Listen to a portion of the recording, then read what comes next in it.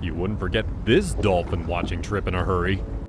When you go out on the water in a boat, you look forward to a relaxing time, taking in the sights of the water and spending time with friends and family. You know you'll see some fish or two, depending on how far out you go on your boat. But one group of boaters got an uninvited guest that made for a boating trip they'll never forget.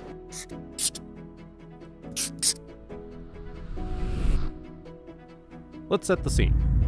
You're on your boat, and everyone's having a great time. You see a pod of dolphins jumping around and think, ah, how cute. And then that cuteness gets closer and closer until this big guy was a bit lost when he took the leap onto the boat. We don't know where he thought he was going, but these people certainly had a situation on their hands, to say the least. While everyone was trying to figure out what to do, there was someone who definitely took out their phone to videotape the whole incident. After all, if it's not recorded, it didn't happen, right?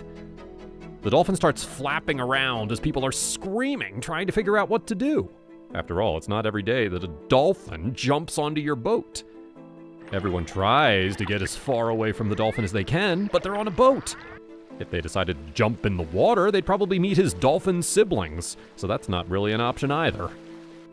After a few minutes, you can tell the dolphin desperately needed to get back into the water. That's their habitat, and without being in it, they're not going to survive at all. Other boats saw what was happening and came over to help. Another boater hopped into the boat to help the dolphin. He took wet clothes and draped them over the dolphin. While this may not have been the most ideal situation, there was nothing about this situation that was ideal. You just gotta do what you gotta do.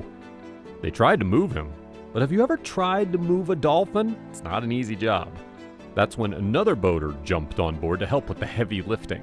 Two people weren't enough for this job, they needed more help. Some other people got in on the action. Within minutes, they were able to throw the dolphin overboard and back to his natural habitat. By this time, several other boats were circling around to see what was going on. As we said, it's not every day you see a dolphin on board a boat. But once the dolphin got back into the water, it was business as usual. He started swimming and eventually found his friends and family.